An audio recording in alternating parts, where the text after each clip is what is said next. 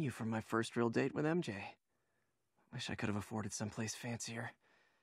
But she didn't seem to mind.